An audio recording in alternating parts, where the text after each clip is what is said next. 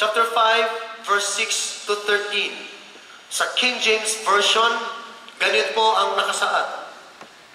I am the Lord thy God, which brought thee out of the land of Egypt, from the house of bondage. Thou shalt have none other gods before me. Thou shalt not make thee any any any graven image of or any likeness of anything that is in heaven above, or that is in the earth beneath, or that is in the waters beneath the earth. Verse 9, Thou shalt not bow down thyself unto thee unto them, nor serve them, for I, the Lord thy God, am a jealous God, visiting the iniquity of the fathers upon the children unto the third and fourth generation of them that hate me. Verse 10, and showing mercy unto thousands of them that love me and keep my commandments. 11, Thou shalt not Take the name of the Lord thy God in vain, for the Lord will not hold him quali, uh, quali, uh, quietless that taketh his name in vain. 12. Keep the Sabbath day to sanctify, to sanctify it as the Lord commanded thee. Verse 13. Six days shalt thou labor and do all thy work. Verse 14. But the seventh day is the Sabbath of the Lord thy God. In it thou shalt not do any work, thou, nor thy son, nor thy daughters, nor thy manservant, nor thy maidservant, nor thine ox, nor thine ass, nor, uh, nor any of thy cattle, nor thy stra- nor thy stranger that is with, within thy gates, that they that thy manservants and thy maidservants may rest as, we, as well as thou. The Lord bless His word. Magandang umaga po. Wala akong kausap. Magandang umaga po sa ating lahat. Buhay pa, buhay pa. Okay. Sinasabi ng Panginoon sa atin dito, nagbibigay po ng instruction ng Diyos kay Moses. At ang instruction ng Panginoon kay Moses na kailangan ang mga tao ay magkakaroon ng pagkakilanlan sa Diyos na siyang nag-alis sa kanila mula sa house of bondage. Ang house of bondage po na tinutukoy sa Old Testament ay ito po yung isang bansa na kung saan almost mahigit kumulang 400 years na ang mga Israelites ay nakapisan doon, ang mga Israelites ay naalipin doon, in bondage sila, sila po ay nasa kasalanan at hindi nila kilala ang kanilang mga ninuno. At doon, sinasabihan sila ng Panginoong Diyos na huwag silang gagawa ng anumang mga imahe, ni huwag silang gagawa ng imahin na sa ibabaw ng lupa, sa ibabaw ng langit, or dito sa, iba, sa, sa ilalim ng lupa o sa karagatan. Ito ay malinaw na instruction ng Panginoon. Amen? At sinasabi ng Panginoong Diyos, napakaganda, Thou shalt not use the name of the Lord in vain. Huwag mo daw umano or huwag mong gamitin ang Panginoong Diyos, ang pangalan ng Panginoong Diyos sa, sa, sa mga bagay na hindi ito sangayon sa kanyang kalooban. In vain, ibig sabihin sa kasamaan, sa walang kwenta na paggamit, hindi pinapayagan ng Panginoon dyan. Nadulas ka lang, in Jesus' name. Ano ba yun? May demonyo? Na, ah, may, may lamok lang na dumamo sa ulo, in Jesus' name. What is the use of using the name sa pagpatay ng lamok? Nandyan ba kayo? Nagamit natin mga pa- ang pangalan ng Panginoon sa mga bagay na yan, walang katuturan. Sana nga, Lord, I pray na pag tumaya ako ngayon, mananalo ako. We are using the name of the Lord na kung saan ito ay hindi po karapat-dapat. At sinasabi ng Panginoon, and I will visit the sins, the iniquities from the third to fourth generations. Mula sa tatay, sa anak, sa apo, at sa apo sa tuhod. Ang, ang, ang Panginoon ay bibisita at titignan niya at hindi niya sasantuhin ang mga kasalanan na ito na kinamumuhian ng Panginoon Diyos. Bakit po? Sapagkat ang Panginoong Diyos gusto niya na magkaroon tayo ng matibay, malinaw, at matatag na relasyon. At dapat nating maunawaan na ang relationship na ito ay nababase hindi sa nakikita ng mga mata, kundi ito'y nababase sa pangalan ng Panginoon at sa ating pananampalataya na siyang umuukit at umuugat sa kailaliman ng ating puso. Amen? At sinasabi ng Panginoon, we must understand our relationship with Him. Mga kapatid, pag naunawaan mo ang relasyon mo sa Panginoon, mahirap ka nang bunutin dyan. Dahil naintindihan mo, you are in relationship with God. Amen po ba? Marami mga tao sa panahon natin ngayon ay hindi nila alam kung sino sila sa paningin ng Diyos. Hindi nila alam kung ano ang standing nila sa Panginoon. Hindi na alam kung anong katayuan nila sa harapan ng Diyos. Ang alam lamang nila, sila ay ligtas. Ang alam lamang nila na sila ay ay ay paborito ng Panginoon. Hanggang doon lang. Walang masama doon. Pero sinasabi ng Biblia sa atin, kailangan maintindihan natin na kapag tayo ay in relationship with God, kailangan nating manatili, maging matatag, maging matibay, at kahit ano pang unos sa buhay na ito, since meron kang relasyon sa Diyos, ay hindi hindi ka basta-basta mabubunot because of that kind of relationship that you have in our Lord Jesus Christ. Amen? Sabi, palapakan mo ang, ang Panginoon sabi, at sabi mo sa tabi mo, are you in relationship with God? Kaya ang Bible, malinaw po na nagsasabi na sinabi ng Moses sa kanyang mga salita dito, sinabi sa, sa salita ng Panginoon through Moses, sabi niya, listen carefully to the laws and regulations that I am giving you today. Napakalinaw instruction ng Panginoon. I am the Lord, sa verse 6, I am the Lord thy God which brought thee out of the land of Egypt, Egypt from the house of bondage. Thou shalt have none other gods. At ang sabi ng Panginoon dito, I am the Lord who take you out from the land of bondage. Listen to my commands. Verse 10, and showing mercy unto the, unto the unto thousands of them that love me and keep my commandments. So napakalino po na kapag nag, pagka ang, ang, ang utos ng Diyos ay sinusunod mo, may mga pagpapala, may mga bagay na darating sa iyo na maging hindi mo inasahan ay darating sa iyo because you are in relationship with God. Amen. Hallelujah. Now, pag-usapan natin ngayon, sinasabi dito that God reminded the people of Israel even unto us today about the blessings of being in a relationship with God. Alam niyo, meron pong blessing kapag tayo ay may relasyon sa Diyos. Alam mo, sa social media, laging sinasabi, sa Facebook may nakalagay, kapag ka tinitignan mo yung mga status ng mga tao doon, in a relationship, single, married, hindi ba naman walang single, walang married, in a relationship, ibig sabihin, may karelasyon na sila. Wala tayong pakialam kung ang karelasyon nila ay mali o anumang kasarian. The important is, in a relationship. Meron, sino nag-Facebook dito? In a relationship.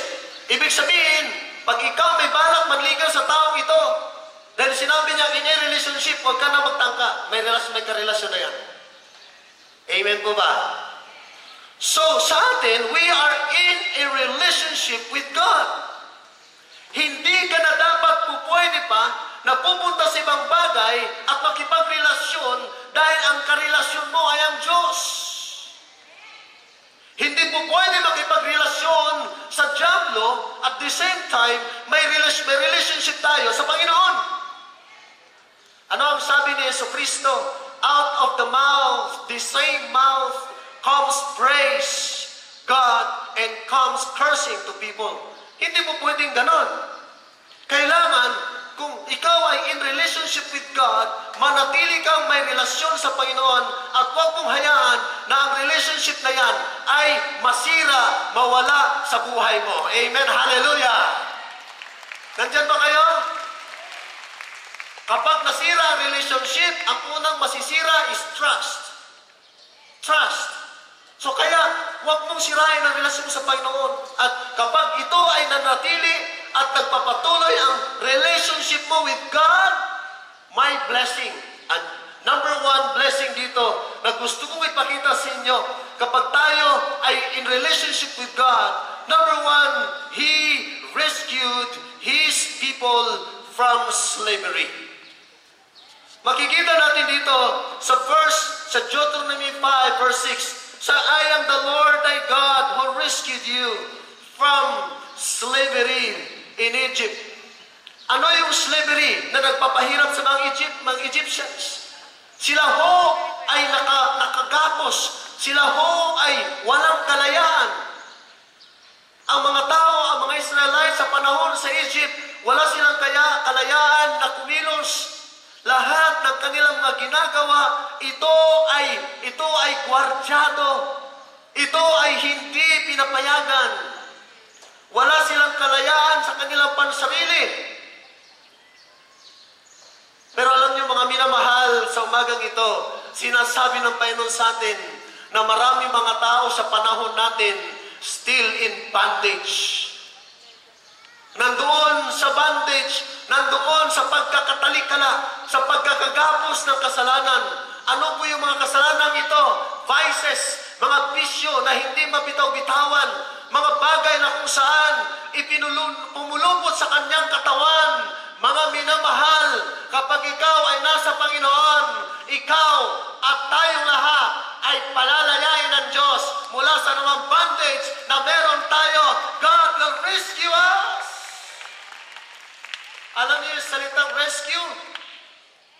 Pag nagkaroon ng bagyo, maraming nasalanta, bagyong Yolanda, ang isang taong buhay pa ay nire-rescue para malapatan ng lunas, para magkaroon siya ng, ng pa- karampatan ng para lumakas. Pero ang retrieval, iba, patay na yon, kaya nire-retrieve. Kapatid, buhay ka pa ngayon, kaya nire-rescue ka ng Panginoon. Dahil ang mga buhay, nire-rescue ng Lord. At dahil nire-rescue ka niya, pinapalaya ka ng Panginoon mula sa anumang talikalan ng kasalanan. Yan ang gusto ng Diyos sa iyo. Sabi mo sa taon mo, yan ang gusto ng Lord sa iyo. Dahil yan ang gusto ng Lord sa iyo, gustuhin mo na rin, kapatid. Yung iba kasi, ay, yan ang gusto ni Lord sa akin. Ah, tika Lord, sandali lang. Magpipray muna ako. Oh, our Father. Hindi! Kailangan gustuhin mo ang gusto ng Panginoon sa buhay mo. You're living in a wrong relationship. Layuan mo na yun. Hindi yan kalooban ni Lord sa'yo. Mag-ayos na tayo ng buhay natin, kapatid. Nagkagyera na sa Israel, oh. Malapit ang dumating si Lord. Huwag na tayo magpatumpik-tumpik pa. May pangako ang Diyos sa atin na kapag tayo patuloy na pagrelasyon sa Kanya, He will deliver us from any bondage in our lives. Kaya sabi sa atin mo, ikaw ay deliver na. Pinalaya ka na. Yan ang blessing number one sa mga tao na merong relasyon sa Panginoon. Alam niyo sa totoo lang, sa totoo lang, sabihin mo sa totoo lang, sino ang mga born again dito? Born again Christian. Kaya born again Christian kasi dati Kristiyano ka, pero hindi na bago isip at buhay mo. Ngayon na bago ang isip at buhay mo, born again ka. Okay. Sino ang born again dito? Tanong.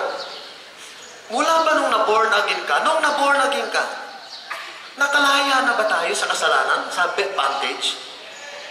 Oo, talaga. Talaga? Talagang, talagang, talaga? Nung tinanggap mo si Kristo, na born again ka, but you are not yet delivered totally. Oh, bago yan, pastor. Totoo yun. Kasi kung talagang ikaw ay nakalaya na totally mula nung araw na tinanggap mo si Lord, dapat banal sumalangit daw ang kaluluwa mo. It means, po pwedeng maborn again ang isang tao, pero hindi pa nakalaya sa kasalanan. Bakit? Isinurinder lang ang buhay, pero ang kasalanan, hindi.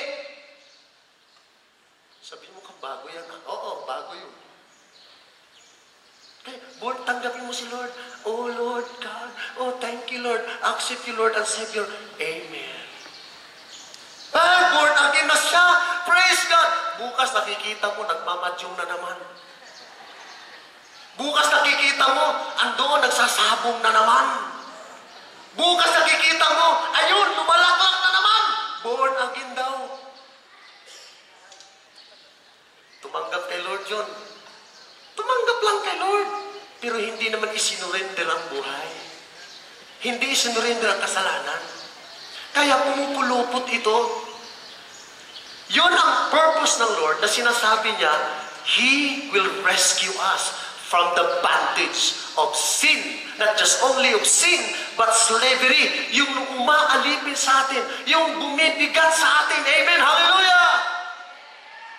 After na naborn again tayo, at isinuko natin sa Diyos ang kasalanan natin, doon tayo nakalaya. Kaya ang mga malalaya ay dapat pumalakpak at tumayo at magsabi ng, Thank you Lord, Hallelujah, I am free! Woo!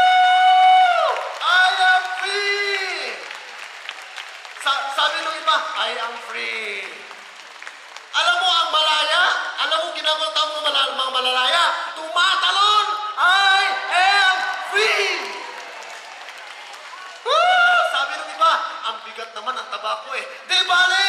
Ha? Sabi mo, sabi mo, malayang, malayang, malaya ka na talaga kay Lord ngayon. Woo! Palakpakan mo ang Panginoong Diyos. Hallelujah! Praise God! Makaupo na po tayo. Yan ang gusto ng Panginoon. He will rescue us because you are in a relationship with God. Woo! Ang sarap ng karelasyon mo si Lord. Amen? Number two, He commanded His people to work six days and give rest on the Sabbath, on the seventh day. Nasa verse, sa Deuteronomy 5, verse 13. Ano sinasabi dito? Ang Muslim, may Muslim ba dito? Okay. Ang mga Muslim, Friday sila. Tama ba ako doon o mali? Ang Sabadista, may Sabadista ba dito? Meron. Ang Sabadista, Sabado sila.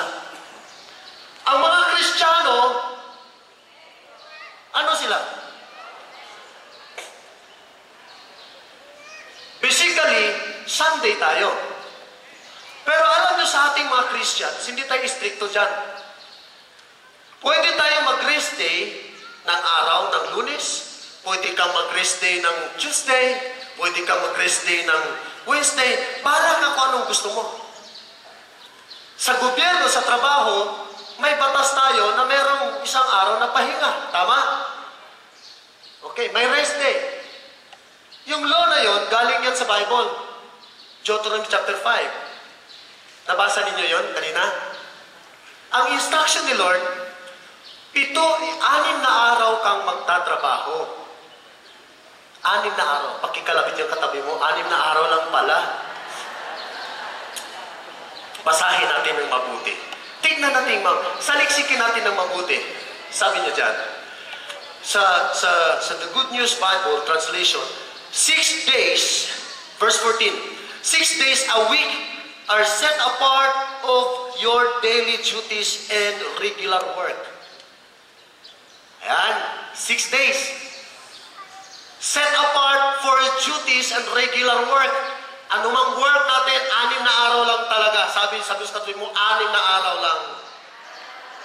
Nasaan yung isa? But the seventh day is a day of rest. Oh! yung iba, wala nang pahinga. Nilabag mo ang Diyos. It is a command. Bakit? May kinalaman sa health yun eh. Kaya inutos ng Lord na may pahinga ang isang tao. Pag nagpahinga ka, ano? Manonood ng sine? Ah, ako, gata, gata. Mag, magbibideo? Magbibideo ano? Yung pahinga mo? Basahin natin ang kasunod. Anong sinabi yung kasunod? Dedicated to the Lord your God. Wow! Ang pahinga ng Kristiyano is dedicated to the Lord your God. When it means, kapag nagpahinga ka, huwag kang manood ng sine, huwag ka munang mag, mag, mag-recreation dyan. Ang unahin mo ay ang pahinga to commune with God, to rest in the presence of God, to hear the Word of God, to serve God on the Sunday. Nasaan tayo pag-Sunday? Sa mall. Sa sabungan. May Kristo din doon.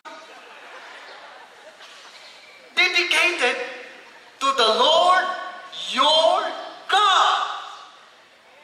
So, binigyan ba tayo ng exemption ni Lord na mag-absent pag Sunday on the rest day for Christians? No! Sabi mo sa katabi mo, wala kang karapatang mag-absent pag Sunday. Ano yung pastor? Bagong doktrina? No! Dedicated to the Lord. Your rest day is dedicated to the Lord. Matthew 6.33 Seek ye first the kingdom of God and His righteousness. Seek ye first the King of the kingdom and His righteousness. Unahin mo si Lord. Magsimba ka muna, mag-post encounter ka, mag-SOL ka, at pagkatapos ng iyong dedication to the Lord on that rest day, then, manood ka ng sine. Kumain kayo sa labas. Magnegosyo ka. Tignan ko lang, pag inuna mo si Lord, nag-aagawa na ang mga mga mga mga mga blessings sa labas. Sinasabi, ang tagal naman ni Madam Mirla dumating dito. Nakahanda na yung milyon-milyon. Ang tagal naman ni Brother Harry nandito. Nakahanda. Nasaan ba? Sabi ni Brother Harry ni Sister Mirla, wait lang kayo. Dedicated ako sa Lord this day. Mo, walang kahirap-hirap. Nandiyan na yung blessing, nag-aabang na sa'yo. Saluhin mo na lang because you are dedicated to the Lord on the Sabbath, on the rest day. Hallelujah! Sabi sa atin ko, walang mag-absent. Yung mga absent ngayon, i-remind ninyo, it is a command of God not to absent during the rest day. It is dedicated for the Lord. Oh, sabi mo, sabi mo sa katabi mo, walang mag-absent. yung iba, ay, wag na lang muna tayong mag-church. Kasi merong ano doon, merong mga show, may meron doon mga ano, yung, yung car show. Mahilig ako sa car. Gusto ko makita, ngayong umaga lang yun. 10.30 lang yun. Wala na. So, hayaan mo na, may 10.30 pa naman sa susunod. Pero yung mensahe sa araw na yon, just for you, hindi mo nakuha. Malay mo pala, pag upo mo dyan, kinakausap ka na ng Diyos. For a change. Sabi sa tabi mo, dedicated to the Lord. Sabi ng iba, wala na pala talaga akong chance mag-absent. On that day, no one in your household may do any kind of work.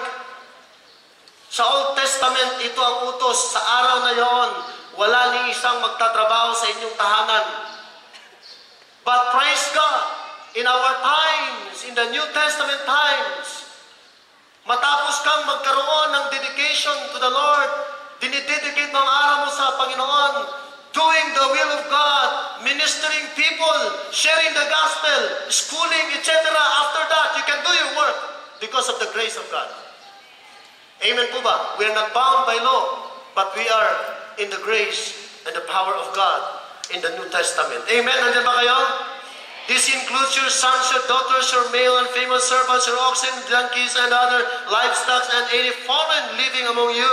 All your male and female servants must rest as you do. Mga amo, nananawagan po ang Biblia sa inyo. Bigyan ng day off yung inyong mga katulong. Katulong ka lang, ha? Ah, ikaw? Ah, huwag ka na muna magsimba kasi ikaw naman ay hindi naman kita kano-ano, di ba eh? Eh, Tsaka ka na may time. Hindi eh. Sabi sa Bible, oh, kahit ang inyong mga man-servant, maid-servant, give them rest as you do. Tao din sila. May karapatan din silang magpahinga tulad natin. Amen?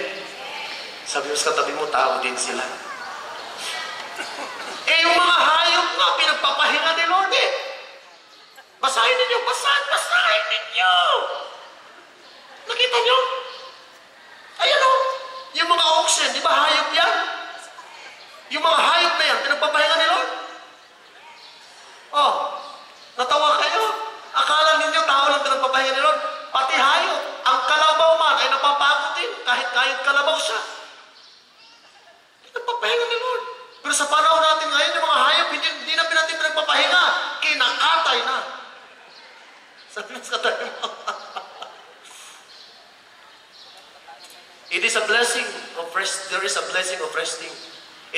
It involves our health. It restores our nerves and muscles. It relaxes our minds and our spirit. Amen. And number three, number three, He placed His hand of blessing on your head. He placed His hand of blessing in your head. Babasahin ko sa New Living Translation. You both present and follow me. You place your hand of blessing on my head. Sa Good News Bible Translation, ganito sinabi, You are all around me on every side. You protect me with your power. Ano ang sabi ng Lord? Yung blessing ng Panginoon, Brother Eli, can you please let us dance together? Okay. Music. Kung ako ang Diyos, sabi sa New Living Translation, I always present, meaning going ahead, mauna, nanguna sa Kanya. So hinahawakan ko siya ng ganon, nauuna ako sa Kanya. At sometimes, pag nauna siya, nandito ako sa likod niya, I will put my hand of blessing upon him. So habang naglalakad siya, my hand is always within his head at lagi-lagi siya makakatanggap ng blessing. Blessing follows. And sometimes overtake him to prepare para ang blessing darating sa kanya. Because he is in relationship with God. Sa Good News Translation, ganito sinabi, habang naglakad, naglalakad siya ng ganon, the Lord surround him with His power, protection. Habang naglalakad siya ang Diyos, sige lang, sige lang, nakapaligid ang Diyos sa kanya, sige lang, nalilito na siya, sige lang. And kahit anumang gawa ng kaaway sa kanya, because the Lord surrounds him and protected him, hindi hindi sa kayang kantiin ng kaaway dahil ang Diyos nasa kanyang paligid. Kulang na lang, yapusin siya ng Panginoon just to protect this man of God. Amen! Salamat, Brother Eli. Ganon na ganon ang ginagawa ng Diyos sa atin. Blessing yun because you are in relationship with God.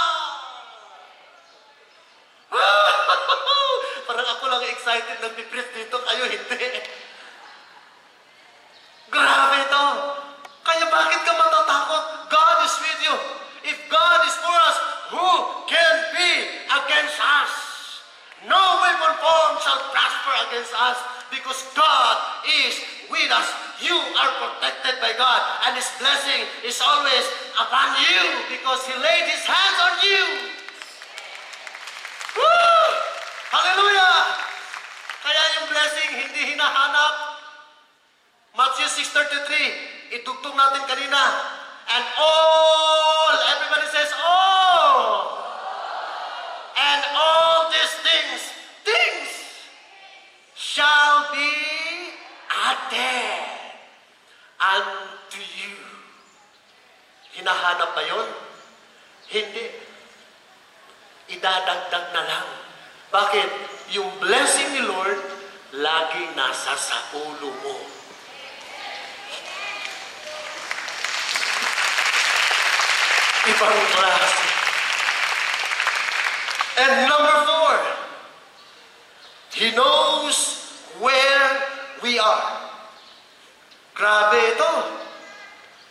Knows where we are. Psalms 139, verse 8 to 10. Sa Good News Translation, ganito pong sinasabi.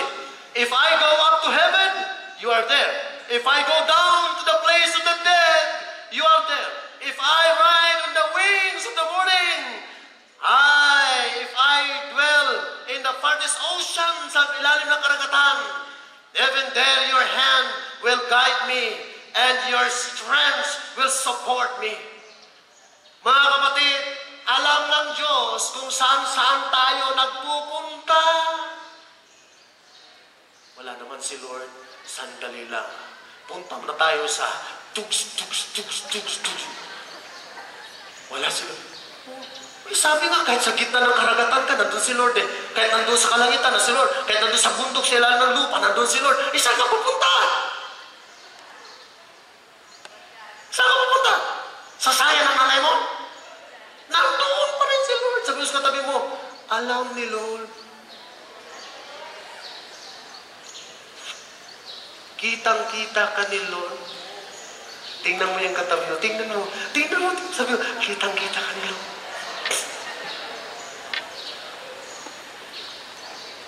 And number five. Pakisabi sa katabi mo, number five.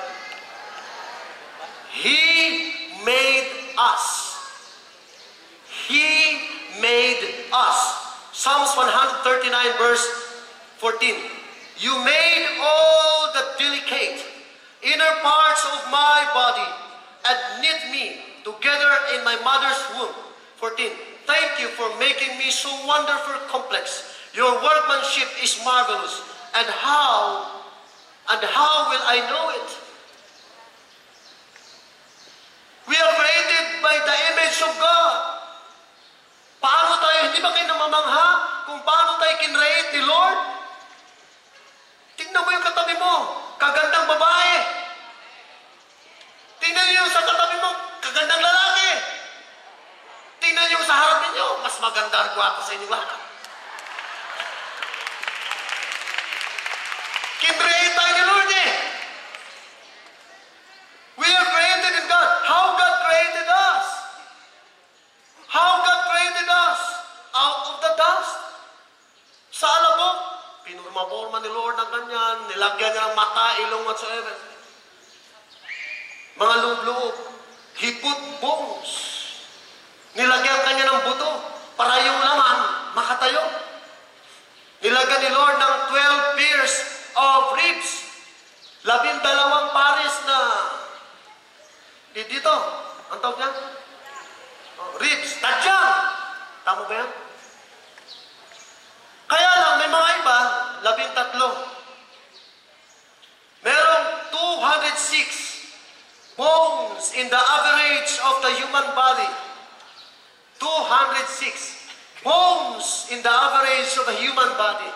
206 po yan. Pero yung iba, higit pa riyan, may extra pa. Kaya umabot ito ng 208 bones. Kasi yung iba, merong, merong mga sumubrang bones dyan sa buong katawan natin na may extra according to scientific uh, uh, uh, research. How God made us. Hindi lamang niya binigyan ng mga mga 206 and 28 na mga bones in our body and, and, at, at, at, at mga mata at kung ano pa dyan.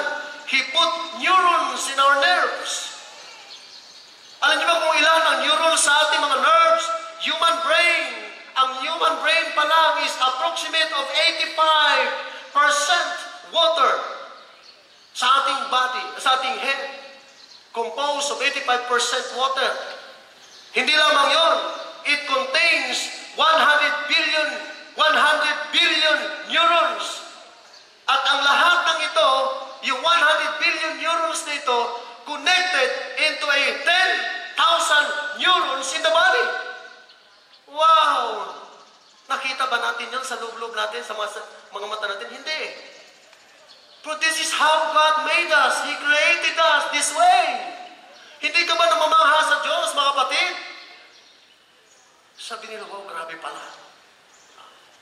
Yung katabi mo, tignan mo, grabe talaga ang pag-create ni Lord dyan. Kumpleto nga kayo eh. Yung preacher nyo, kulang na ng buhok eh. Kayo, almost complete. Purihin ng Diyos. Amen, nandiyan ba kayo? And He put the strongest muscle in the body. Ang tawag ng strongest muscle in the human body is what we call asseter. Yung asseter, ito yung pinaka-strong muscle na nakikita at the back of our dito. Sa jaw. Jaw ba kung tawagin nun? Nga, nga, nga, nga, nga, ganyan. Na kung saan, mayroon siyang capability na talagang na magmuya ng mga matitigas na pagkain sa ating katawan. At hindi lamang yun, mga kapatid, how God created us. He put the largest organ in the body. What is just, what is that largest organ in the body? Is the skin. Ito ang pinakagrabe na organ at in an adult man, sa isang tao, it covers 20 square feet. At ito ay nagkakaroon ng, nag, nag, nag constant flex ito, at may lifetime siya sa isang tao ng 18 kilograms and 40 pounds. Sa lifetimes pa ng isang tao na yung skin na yun, nag, nagkakaroon ng pagbabago. And I am created this way by my God. And I am wonderfully made by my God. And you also. Sabihin mo sa katabi mo, ang ganda ng pagkakagawa ng Diyos sa'yo. Kapatid, sa'yo lang. Hindi ka ba namamangha sa Diyos? Tapos sasabihin mo, walang Diyos. Sino may sabi sa'yo walang Diyos? Eh, ikaw lang eh, kamangamangha ka na eh. Grabe ka na kung gawin ka ni Lord. Pinag-isipan ng Diyos kung ilang neurons ilagay sa'yo. Connected to a 10,000 neurons in the body. Wow! Kaya yung katabi mo, hindi yan basta-basta. Sabi nila, you are not a just-just. Kakaiba ka talaga. Uniquely, special, created by God. In the image of God, He created us. Palapakan mo ang Diyos because He created us. That's part of our relationship with Him. And number six, He is our friend. May tinatago ba ang Diyos sa atin? Wala. Sabi niya sa John 15:15, I no longer call you servants because a master doesn't confine in his servants. Now you are my friends since I have told you everything the Father told me. I am a friend of God. How about you? Are you a friend of God? Sabi ni Jesus, hindi ko na kayo tatawaging mga alipin pa or servants. Dahil ang isang servants walang kinalaman sa business ng kanyang amo. Ngunit ang tatawagin ko kayong aking mga kaibigan dahil lahat ng nalalaman ko sa Ama, ihahayag ko sa iyo. Ibig sabihin, because you are a friend, a best friend of God, lahat ng revelation Jesus from the Father, ipapasa niya sa iyo. Kaya ikaw, created by God, full of revelation of God the Father about Jesus. Ginakuha ng iba. Dahil ikaw ay created ng Panginoon in His image at ginawa kanyang kaibigan, anumang revelation ng Panginoong Iso Kristo sa, sa Diyos Ama, ito'y ihahayag niya sa iyo dahil ikaw ay kanyang best friend. Kaya ngayon, ikaw ay punong-puno ng revelation sa buhay at sa Panginoong Heso Kristo. Because you are a friend of God. Close kayo ni Lord. Ang mga magkakaibigan, very close yan. Hindi yan magkakalayo. And most importantly, the last one, He loves us. Habang ang Diyos ay nasa trono ng kanyang kalangitan, sitting at the throne of heaven, watching His children, smiling at you. This is my daughter. This is my son. And God loves us so much. Because of His love, He sent Jesus Christ to die on the cross to redeem us from all of our sins and cleanse us from all unrighteousness. That is why the Bible says in John chapter 3 verse 16, For God so loved the world that He gave His only begotten Son, that whoever believeth in Him shall not perish, but have everlasting life. Ganon ang pag-ibig ng Diyos sa iyo. Kahit ikay nakagawa ng kabalbalan sa buhay na ito, He loves you so. He will not condemn you of your sins, but He forgive us of our sins and cleanse us from all unrighteousness. And He opened up His arms with a smile. My son, come to me. Come to me. Because I love you. My dear friends, the Lord loves you so much. But because of that love, what is our response? Ano ang ating tugon sa Diyos? Of course, ang lalong magpasalamat at lumapit sa Kanya. At sabihin, Lord, I love you. Kaya niyo bang gawin ngayon yan? As an expression of His love to us in return, let us come before the Lord with gladness of our hearts, bowing down before Him and say, I love you, Lord. Let us all stand. Tumayo po tayo in the presence of God. Magpapamold tayo sa kingdom Lord. Sometimes parang wala na tayong, walang umiibig sa'yo. Remember, you are in relationship with God. Sino dito ang mga VIPs natin? Pwede po ba kayo lumapit sa harap, sir? Ma'am, yung mga VIPs natin, please. You please come forward?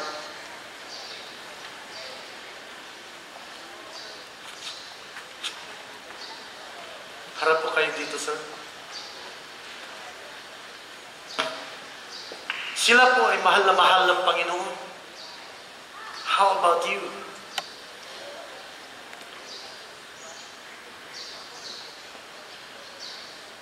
Let me talk to you. Hayaan niyong kausapin ko kayo. Hindi po aksidente na kayo ay naririto ngayon at nakapakinig ng salita ng Diyos. Dahil mahal kayo ng Panginoon, kaya niya kayo tinawag. Bagamat may nag-imbita sa inyo. Pero alam niyo, ang Diyos ang gumamit ng mga taong ito na nag-invite sa inyo. Dahil yung pag-ibig ng Diyos sa kanila ay gusto nilang ibigay din sa inyo. Alam kong alam ninyo na mahal kayo ng Diyos. Pero ang araw na ito ay napaka-espesyal para sa inyo.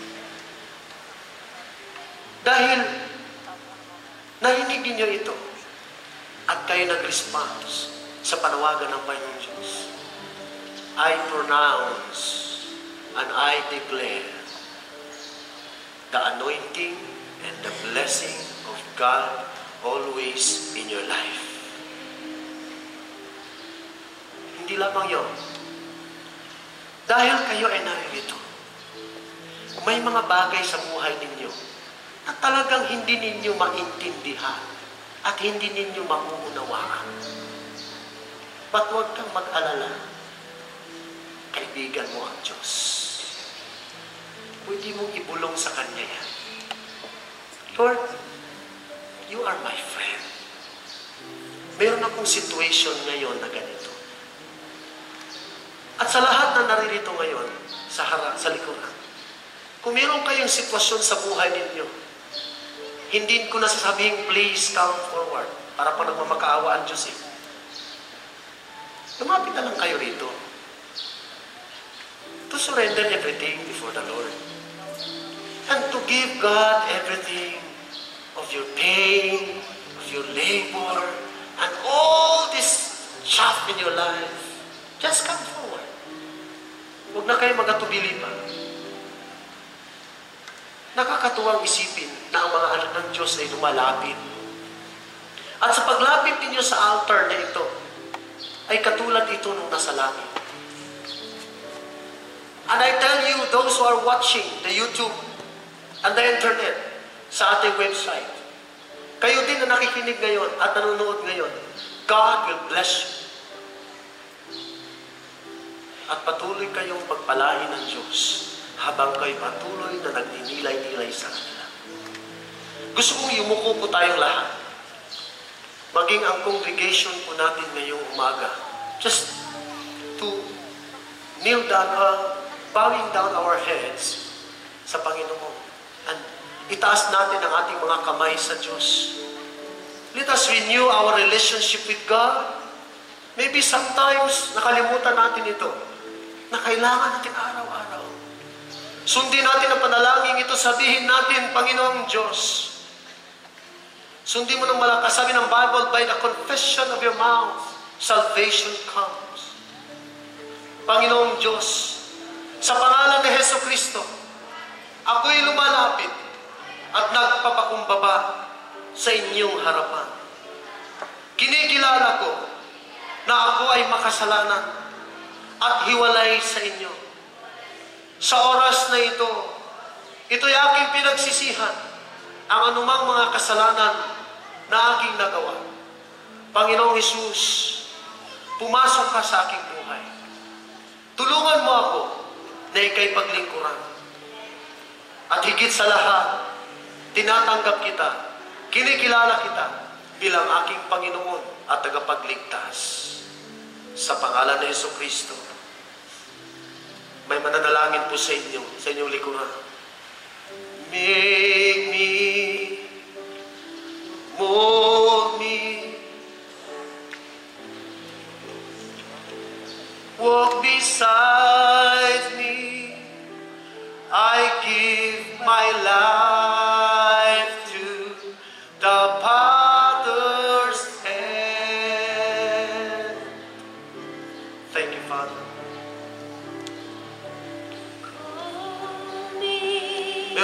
tayong mga kapatid dito. Mga leaders natin, please help us pray for them. Come on, leaders. My life to the Father's hand. You gently call me. Gently call me Into your presence.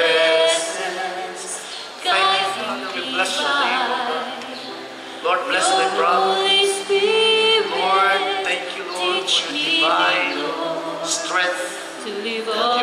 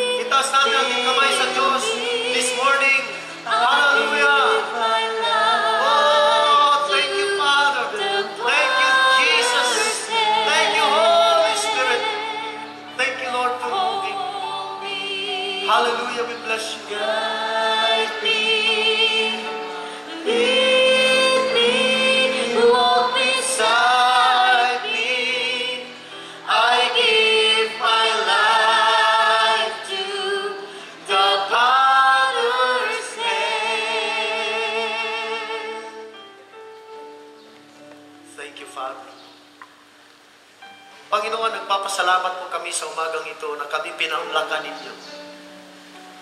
We are not just enjoying, Lord, your presence, but we feel the anointing and the presence of the Holy Spirit.